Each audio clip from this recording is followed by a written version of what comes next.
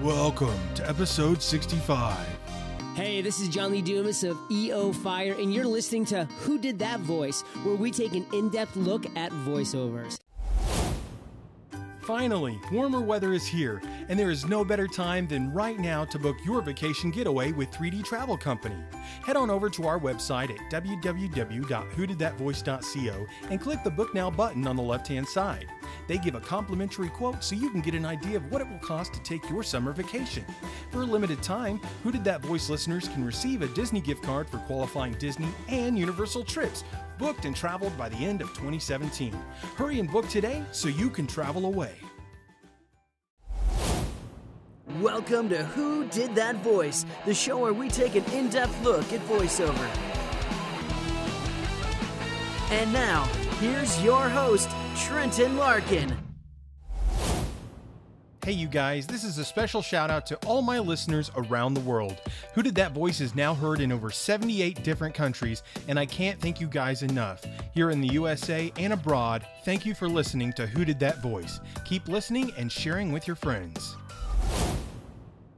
Hey, all you Marvel and Spider Man fans out there. Who Did That Voice is doing an entire month with cast and crew from the 1994 Spider Man the Animated Series, which aired on Fox Kids. You won't want to miss the month of June on Who Did That Voice. Hey everyone, and welcome back to the show. You're listening to part two with Scott Cleverdon, the voice of the Insanomaniac Cletus Kasady, aka Carnage, from the 1994 Spider Man the Animated Series. In the name of? It is my master, Dormammu, who confers this gift upon you, Kasady. Gift? Remember, you wanted the same power that I offered Eddie Brock. This is it? But to enjoy it, you must first swear to serve Dormammu forever. No problem, man. He sounds like my kind of guy. Let me have the power. What do I do? This is a symbiote, a living organism. It must bond with you. And then I get to be like Brock? Similar, but different. As different as you are from Brock.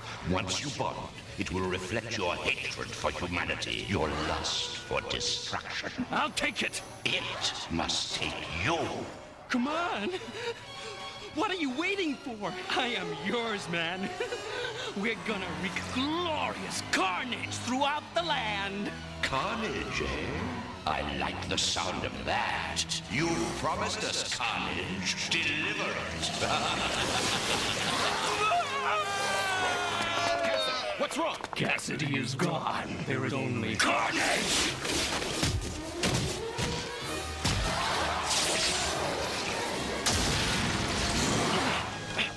Machine! He reacts to loud noise! I've got just the thing. A concentrated sonic disruptor blast. No! Whatever you do, don't stop! Who are you? Your offspring. Offspring? Yes, yes, we recall replicating. Our flame-headed friend sent us to get this. Call us Carnage. Carnage? There's another symbiote? Sorry to interrupt the reunion. We but hoped we'd run into you again. You know me? Kasady! Think of the damage we can do now, man! Now sit back, relax, and enjoy the show. Well, you know, speaking of doing great voices, you know, I know you got to be a part of the Gargoyle show, and I believe that was your first venture into VO. Is that correct? That is correct. I was with ICM theatrically, which means they're supposed to get you jobs in movies and TV, right, as Yeah. an actor, on camera actor. Um, that wasn't really working because it's one of those things, you know, like if your if your dad asks a friend of his, you know, to give you a summer job, they never get around to giving you a summer job. It was a little bit like that. Okay. But one day, my my agent, his secretary, a very nice lady called Mignon, called me up and said, "Hi, Scott. Um, I just wanted to know, can you do like an Irish accent? Because I hear you're Scottish." And that's kind of close. It's no, by the way. But I said, yeah, of course. I said, because there's a voiceover down here in the voiceover department. Could you come in? Because they want to speak to you because they need a guy to do like an Irish accent.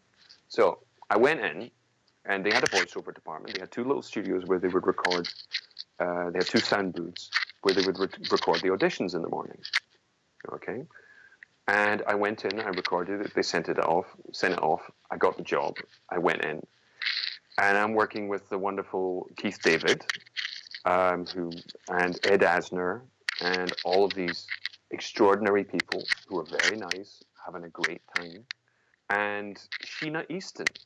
And I played this character who became Cú Chulainn, or Cú Cullen, depending on how you want to pronounce it, who basically transforms into this great Irish hero. So I was doing my sort of Dublin accent, which I'd learned doing a play some years before when I was at drama school. And I put some Gaelic into it, which is the only Gaelic I know. It's not Irish Gaelic, but it's it's Scots Gaelic, so which was Omacrush Nochege. Sounds great. Which actually means this man has extraordinary powers in Scots Gaelic. Wow. And the curious thing is, Sheena Easton, apart from being a, a very well known and respectable recording artist, went to my drama school in Scotland. Nice.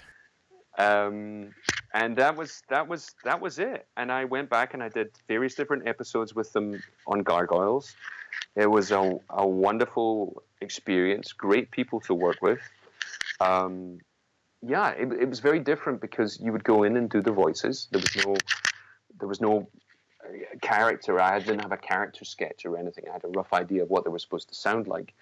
The director's job is very often to explain exactly because you've not seen the script before Yeah. explain what's happened, what the context it is, where you are. It's really to fill in. So there's working in an imaginary world, and they're giving it to you. Okay. So very often it's. I don't know if you've ever played a role playing game. You ever played Dungeons and Dragons? Yeah. Okay. So it's very much you're all part of this sort of consensual imaginary space. Okay? You need to know what's going on, what's happened before, where you are, what you're seeing, what your relationship is, what you're trying to achieve, all these different things to give this line or whatever it might be. And it's very interesting because you're also you're not working with headphones on. Because the the trouble with headphones sometimes, um, and this may be different in other places in the world, but with headphones, and when I was doing all my voiceovers in LA, you never used uh, headphones because what happens is you begin to start listening to your own voice. And as you're beginning to listen to your own voice, you begin sort of mutating your voice into what you want it to be, and it sort of becomes dishonest. Okay. That's one of the things that you hear. Sometimes when you hear people talking like this and they're doing commercials like that, is they are turning their voice into the voiceover voice. Okay? So they're they're beginning to sort of distort their voice and make it sound more voiceovery. Working on Gargoyles and Spider-Man, what you'll find is you'll find incredible natural, very naturalistic voices. Yeah, they did sound very natural. And a lot of the time you'll find that in, in commercials as well, like TV commercials. At that time in the 90s, the, the, the fashion was for incredibly natural voice production. You know, so so people would go, you know, sometimes I just want to buy a soda. And I go to the store and I find all the sodas there, but you know, I keep coming back to this. You know, Yeah. they would all come up with, you know, let me tell you something. They would all lead in with a very naturalistic kind of point of view. And with the voiceover world, obviously that's not Carnage. Carnage is all, I will destroy you, you know. So that kind of thing. Yeah.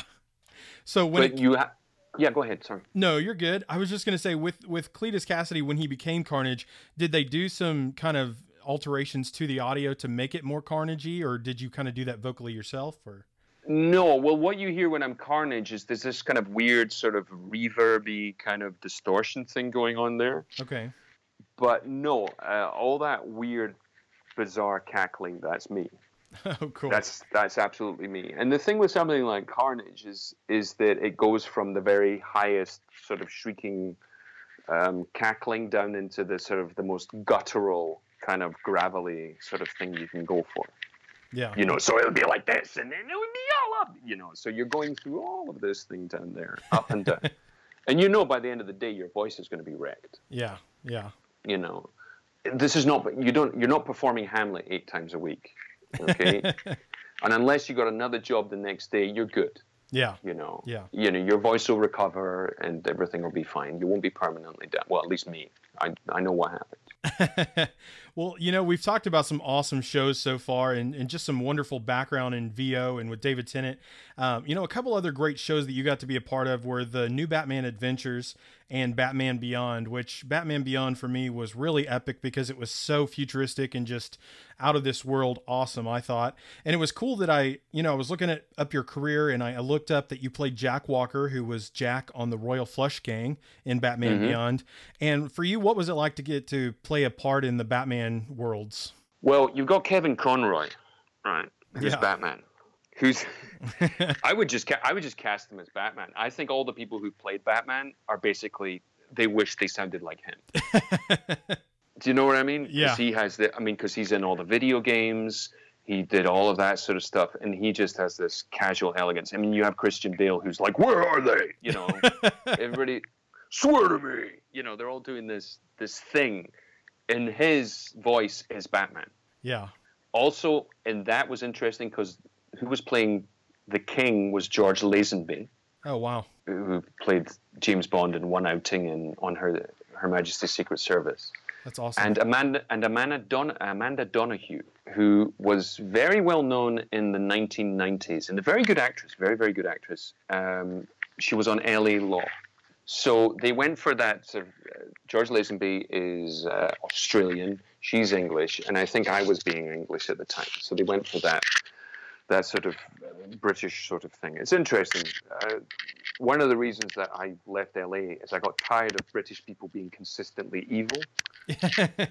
is that we were always characterized as being evil. Now, if you want to ask me about my psychology, my why I think that is, is I think it there's a certain aspect of the British accent which makes that can make Americans feel insecure about their intellectual capacity because we sound so clever.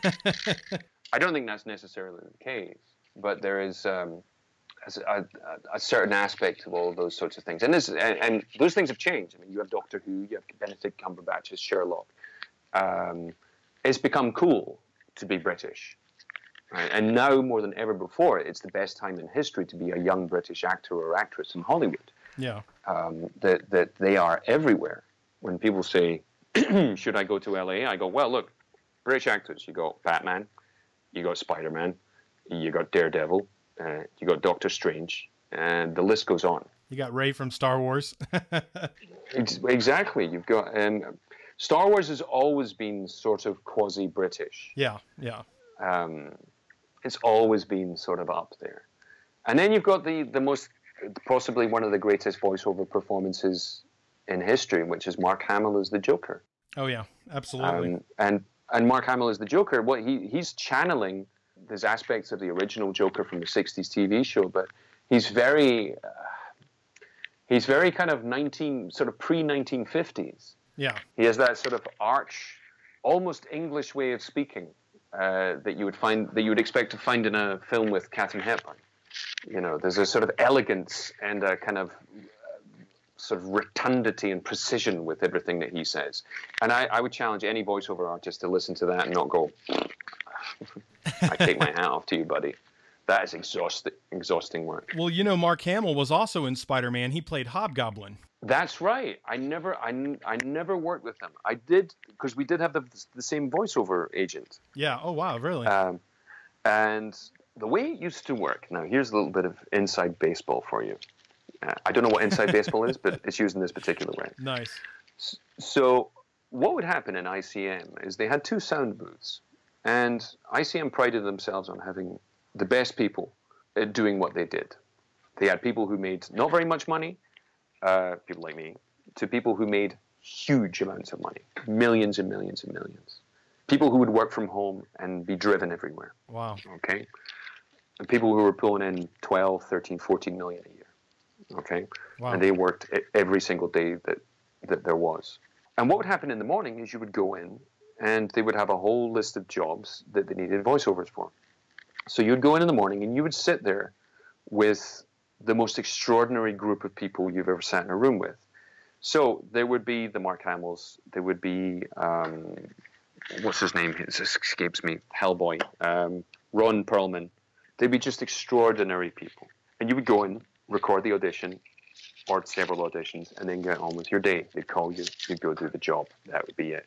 Sometimes what would happen is that happens sometimes on certainly on cartoons, somebody would call you up and they would they say, Scott, I'm gonna I'm gonna send you um, I'm gonna send you some sites. I'm gonna call you in a little bit. Can you can you read them down the phone to me? And you go, okay. So they would do that. They would audition you over the telephone. And Mark Hamill, I met him at one of the Christmas parties for ICM, and he was a very nice man. But I have to tell you, most people in voiceover are, are pretty cool people. That's awesome. know? You know, I, I don't know what's your experience been of, of people in voiceover who you've spoken to over the course of your podcast. All of the ones I've spoken to have been extraordinarily kind and generous of their time and their gifts and their talents. And uh, I mean, the the community of voiceover itself has been the most friendly I've ever encountered in my life. Mm-hmm. You ever wondered why? Why? It's because we do everything in secret. so it's like, well, okay. So explain. No, we're just we're just we're, we're we're actually we're very touched that that what we've done in a darkened room in front of a microphone somewhere has has actually has actually meant something to people. Yeah. Because we do it, and we're just part of a a, a process. We we are we give our voices. Those voices inspire, hopefully, the animators to do some great work, and eventually we'll see it. But we don't know when or how. Because it could release whenever. You don't know, really, do you? No, of course, of course not. And uh, it's different now with YouTube and streaming services and everything else like that. But you have to remember back in the day, to try and find your episode of da da da on a Saturday morning on TV, how would you begin to look for it? You wow. know, you couldn't do a web search. You know, there was nothing on Google. These things would appear.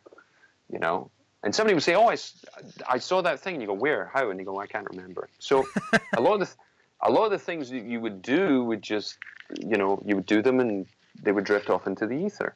Um, wow. And so, consequently, when people like you, Trent, are, are interested in what we've done and the stories behind what we do, uh, in general, this is not the norm.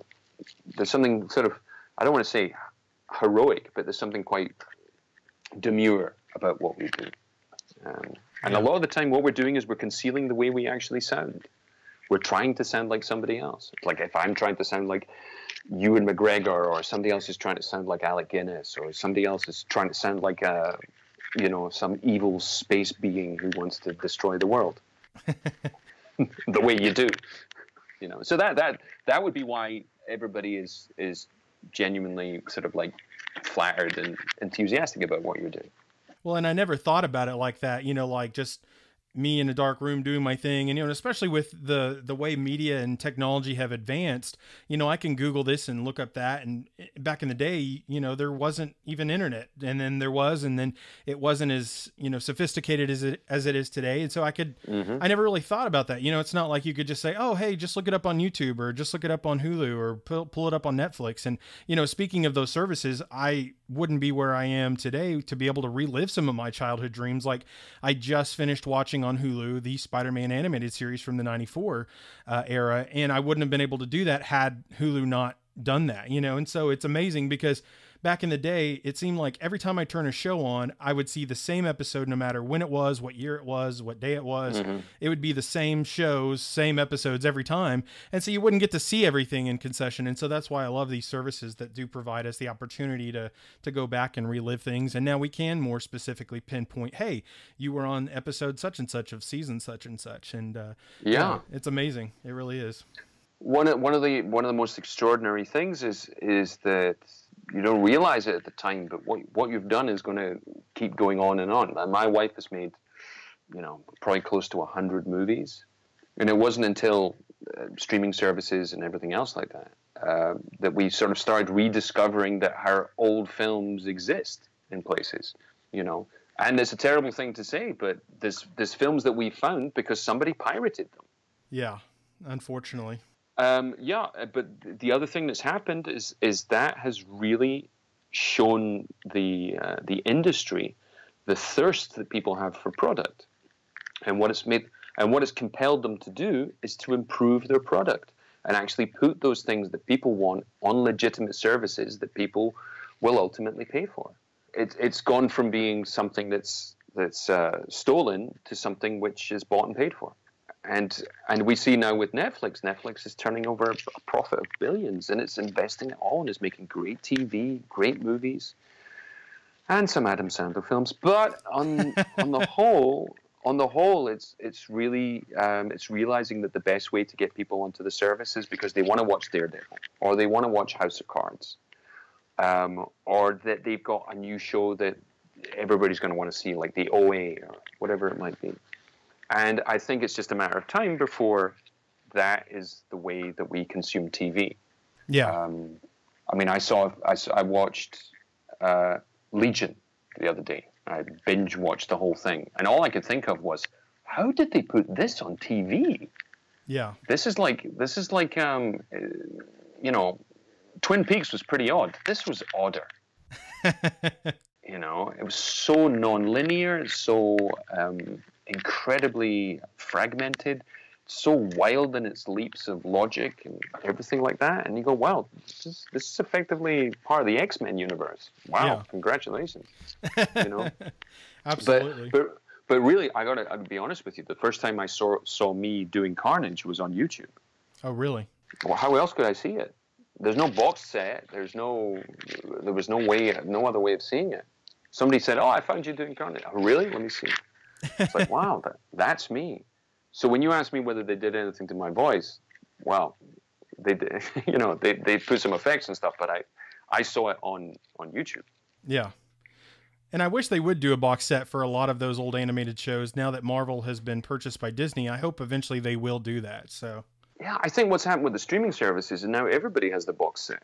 Technically, but if your internet goes down or your satellite signal's broken up, and then you get a choppy show, and then it's not worth watching if it's just, you know, it, uh, uh, uh, That's true. you know. So, That's and that's true. that's one of the frust- Yeah. that's one of the frustrations I have. Some nights I'm like, ah, I'm going to bed. This thing is jumping all over. It'll play two minutes and then it'll you know be you know uploading and then it'll play a few minutes and then upload. You know, it's like okay, forget this.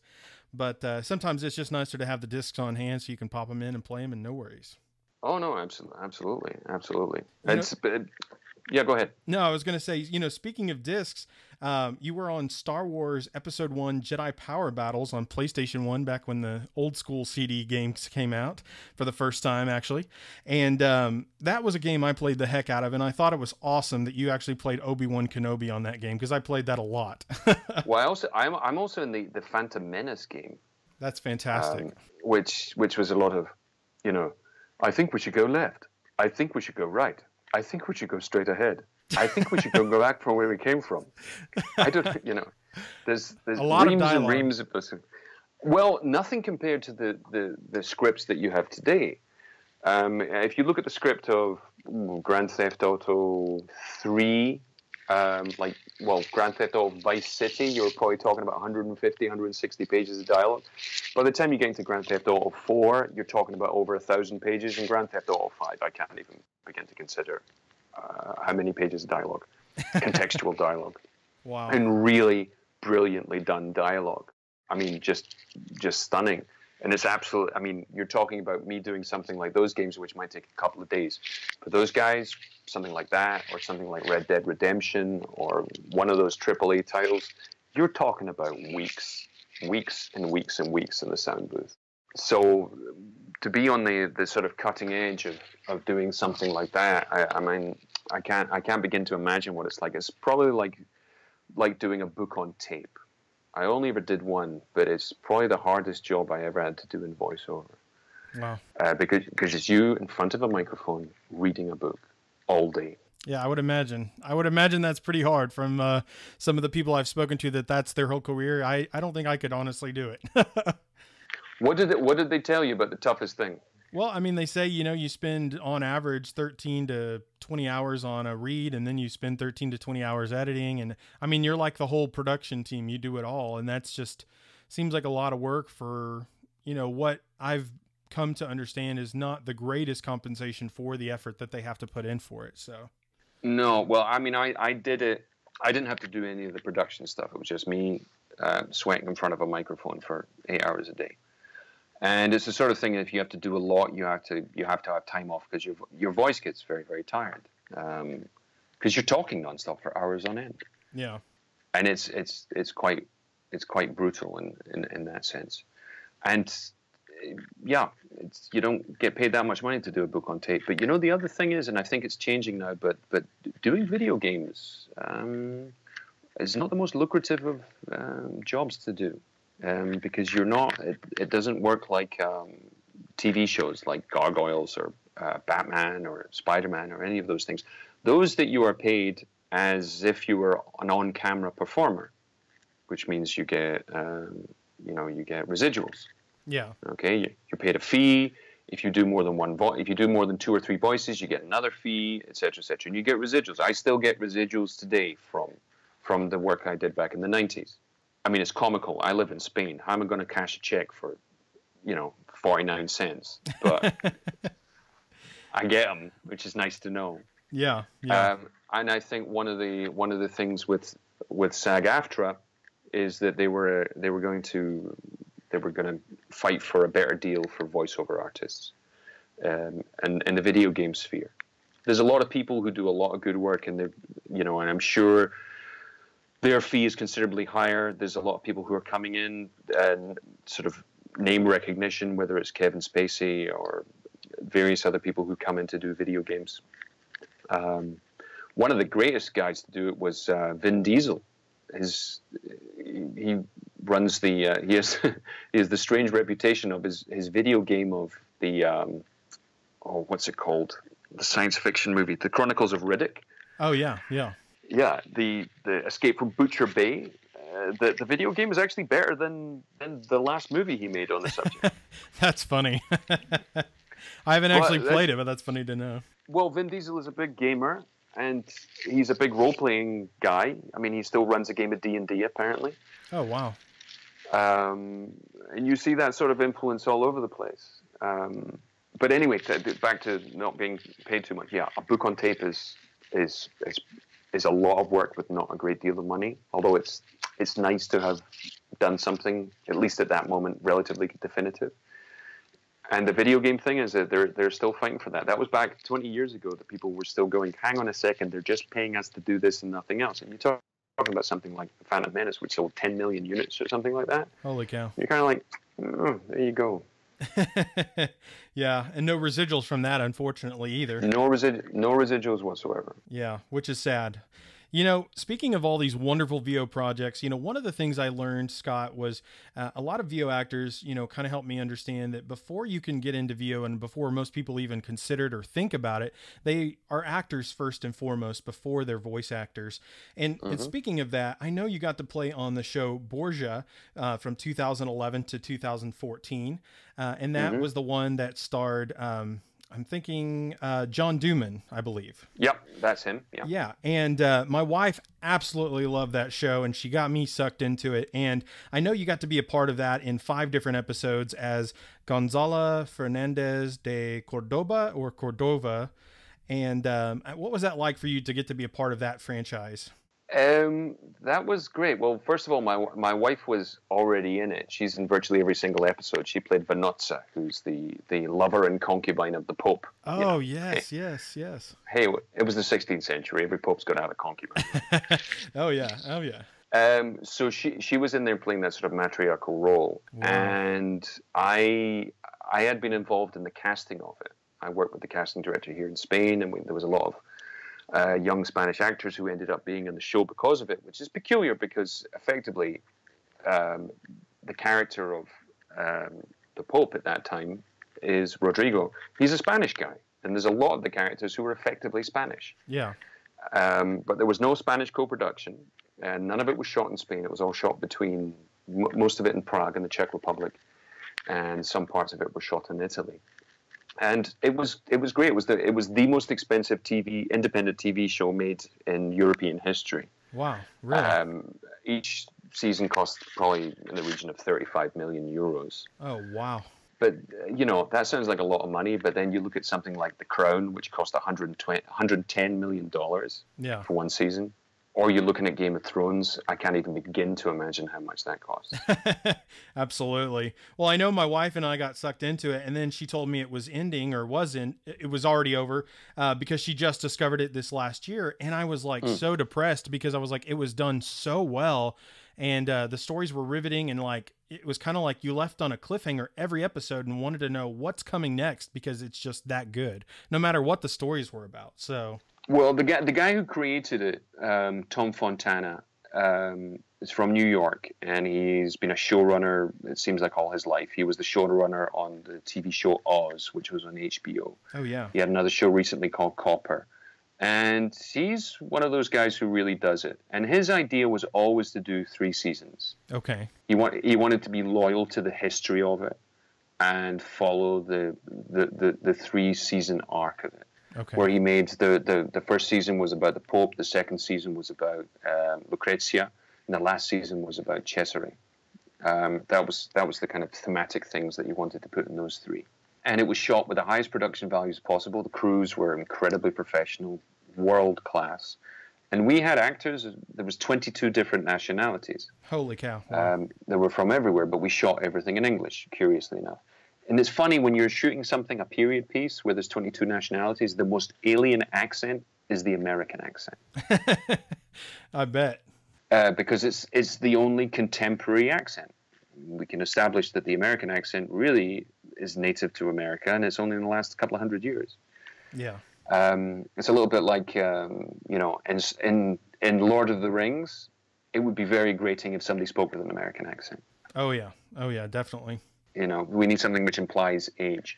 So the interesting thing in that show is I'm playing Gonzalo Fernandez de Cordoba, the the great uh, general of the Spanish armies. Now the Spanish armies at that time, it was a little it was a little bit like being in the modern day, the the head of the armed forces. Okay, You know, in in the United States, you had the biggest, toughest, baddest military force in the history of the planet, and that's what the Spanish were. So, I was my my point of view of doing that is I was a war machine. I was a tank. I was you know unstoppable and unkillable, and it's a kind of curious thing and quite difficult to play because you are an unstoppable force, and then you have to interact with the Pope, who's also an unstoppable force. Um, so that kind of makes things rather tricky because you you sort of have to act from the point of view of kind of being inhuman. Uh, now the Pope is allowed his frailty because it has his old backstory, but really what I was representing was the the armed military might of an entire nation that that had managed to conquer most of the world, and now it was it happened to be in the process of conquering uh, the Americas at that stage as well. But um, everything was uh, extraordinary from hair, makeup, costume.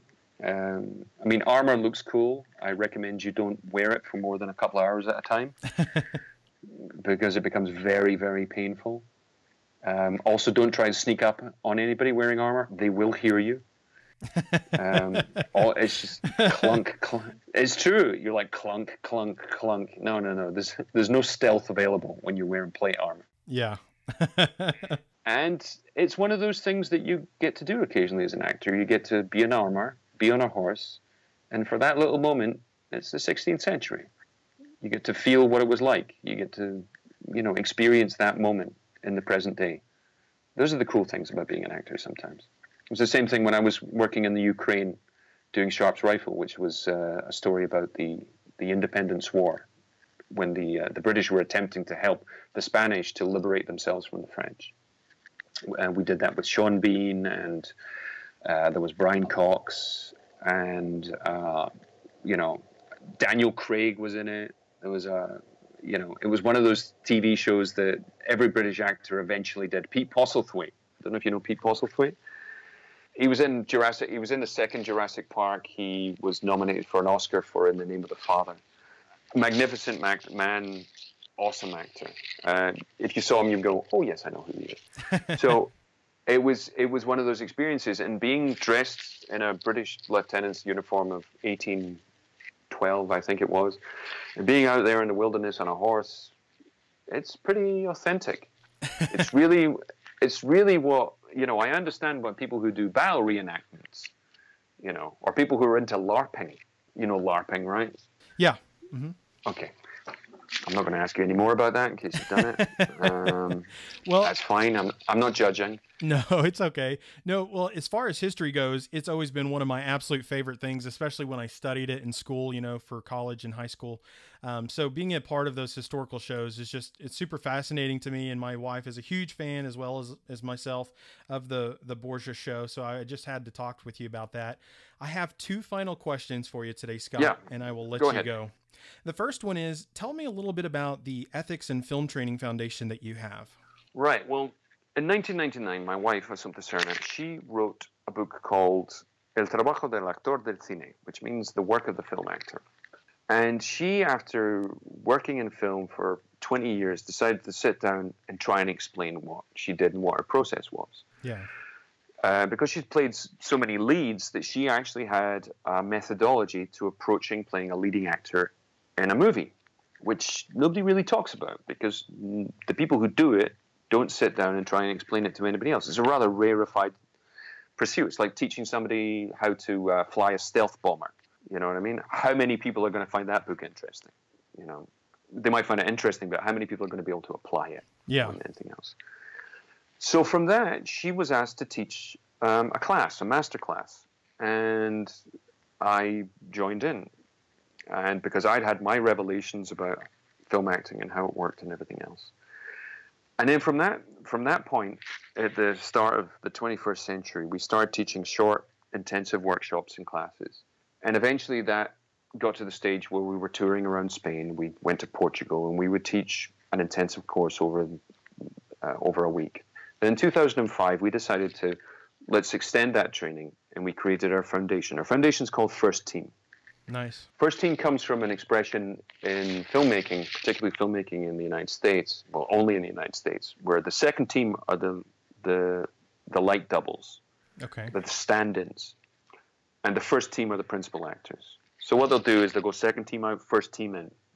Okay, which we're in Spain. I've repented and I've regretted calling it first team from day one because I'm like nobody can say first team. I spend all day spelling it to people in Spanish. I should have called it something simple. But anyway, it's called First Team. And that's what it's been called for over 10 years now. And we started teaching longer courses, and we got to the stage where we associated ourselves with a university, and we taught a postgraduate course, the first, I believe, postgraduate course in film acting in the world. Wow. And we taught it at the university level. And that would was a very long piece of training. It was about 1,500 hours, and we would always work with, with cameras, and we would culminate in, in shooting um, five or six short films with everybody. But our film training, we are always working on camera. Um, we work in Spanish predominantly, um, and since we started, I've taught around. We have both taught around 11,000 hours. Good lord. And in 2007, about 10 years ago, we were uh, we got a grant to do our training else, uh, elsewhere in South America from the Spanish government. So we taught in Argentina, Bolivia, Colombia, and in Costa Rica Oh wow. um, all in Spanish, which is interesting from a guy from Scotland going to Argentina and speaking my version of Spanish, which is even stranger. So there we taught in, we taught in Buenos Aires, Mendoza, Cordoba, Rosario, Trelew, La Plata. In Bolivia, we taught in the capital, La Paz, and in Santa Cruz de la Sierra, Bogota in Colombia, and in San Jose in in, uh, in Costa Rica. And as they always say, nobody is a prophet in their own land.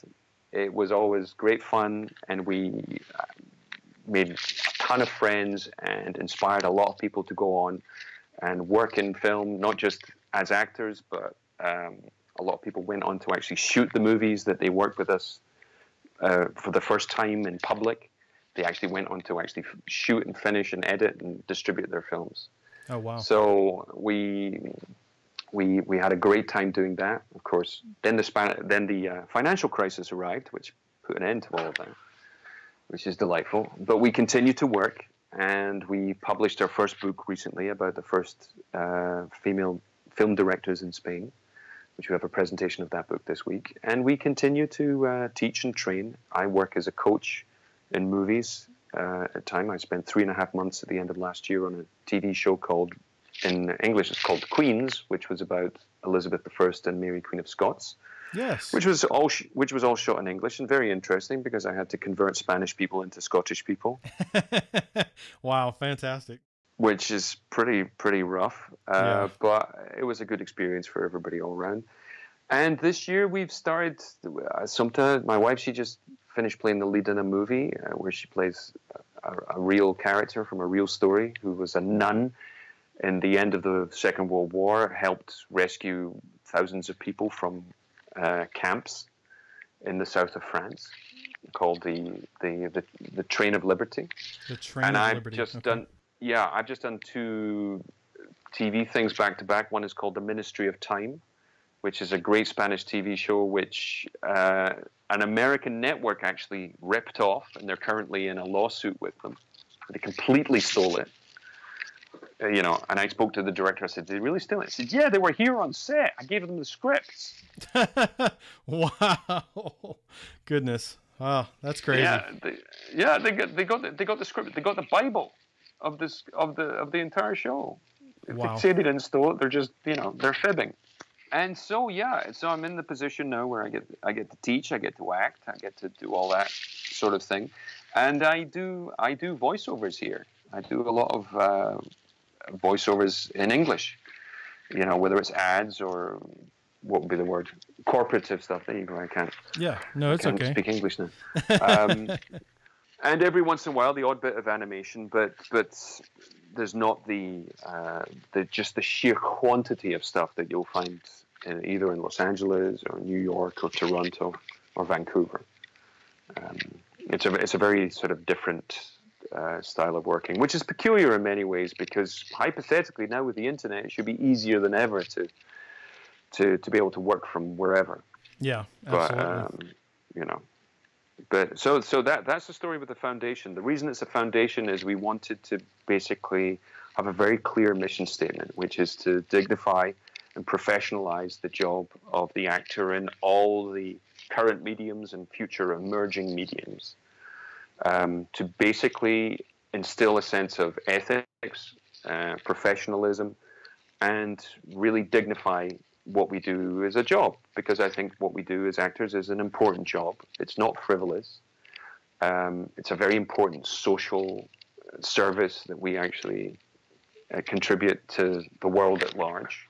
We're there to entertain, illuminate, and give some people, um, you know, let people have fun and dream a little bit. It's incredibly privileged, and we should take what we do seriously, but just not take ourselves too seriously. Absolutely, Scott. Well, the last and final question I have for you today is what is the legacy that you want to leave behind? Hmm. That's a good one. Thank you. Um, the, leg- the legacy, no, no, that's a very good one because um, a lot of the time when people are dissatisfied with what they're doing, it's because they really feel that they're not making a difference. yeah.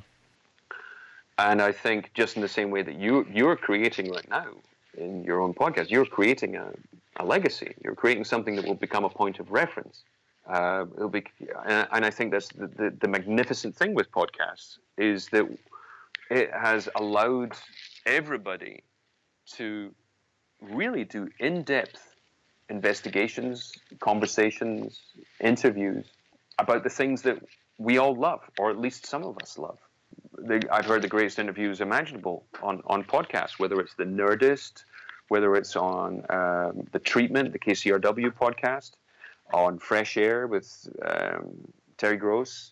Um, I think all of us who are who love podcasts all have something in common, which is, well, we're really seeing inside something. We're really seeing, to use the term again, the inside baseball of it all. Yeah. Uh, it's like Adam Carolla. I used to listen to Adam Carolla when on the radio in LA on uh, on KROQ, and then I discovered probably I don't know six years ago he had his own podcast, and I think he's a brilliant broadcaster, and um, what he does is magnificent. And I see what he's done within the podcast community is that he has inspired a lot of people to do it and helped a lot of people to do it. You know, he's gone on their shows. People have listened to their show because they want to hear Adam Carolla, and people have subscribed to those shows and gone on to listen to them.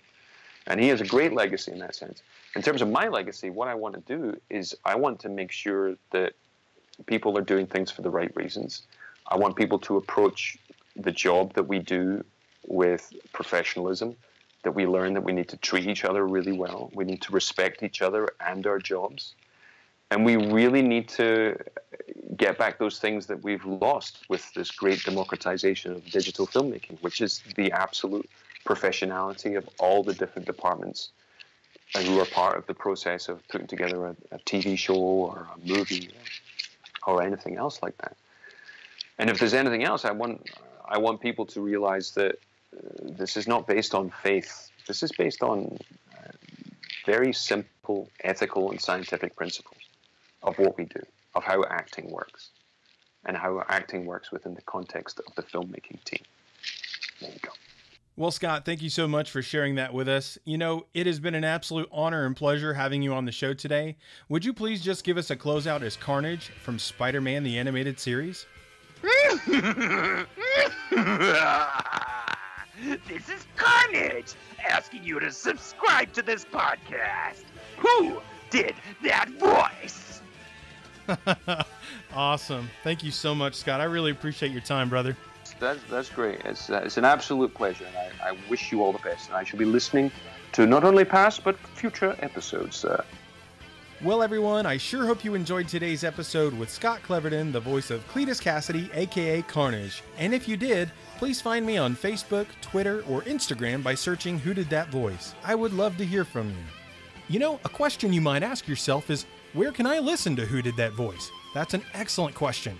You can hear us on iTunes, Stitcher Radio, TuneIn Radio, YouTube, and our website at www.whodidthatvoice.co. Click the episodes tab and listen away. Well, everyone, that's all the time we have for this episode. Join us this Friday for our next special guest, Gary Imhoff, the voice of Harry Osborn, aka Green Goblin 2. You won't want to miss this episode. Hey, do you ask yourself who did that voice? Well, if you do, go to our website, www.whodidthatvoice.co, and click on the Episodes tab. Choose an actor, pick their name, and see pictures from the different characters they've voiced in their career. Thank you for joining us today. We'll see you next time for more discoveries on Who Did That Voice.